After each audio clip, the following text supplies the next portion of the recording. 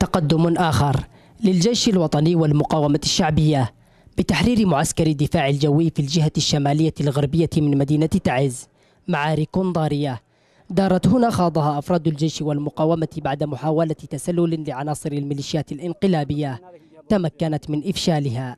نحن هنا اليوم بالدفاع القوي بالأمس آه، كان الميليشيا الحوثية المخلوع صالح شنوا هجوما كاسحا على الجيش الوطني وشباب المقاومة لكن نحن صدينا هذا الهجوم وسيطرنا على الدفاع القوي بالكامل.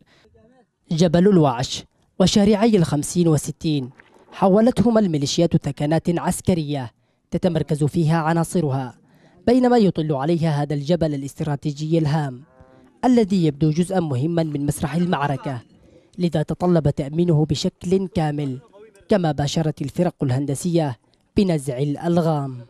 تم تحرير الدفاع القوي من قبل الجيش الوطني والمقاومة الشعبية والآن نقوم بالفرقة الهندسية الهندسية بتمشيط الدفاع القوي من الألغام المضادة للأفراد والمضادة للدبابات.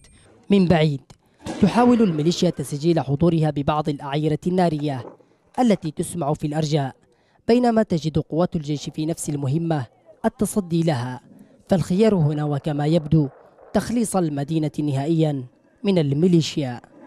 تحرير قوات الجيش الوطني والمقاومة الشعبية لمعسكر الدفاع الجوي. عمل عسكري ينقل المعركة إلى شارع الخمسين لقطع خطوط الإمداد عن الميليشيات الانقلابية فيما تحتدم المعارك شرق المدينة وغربها.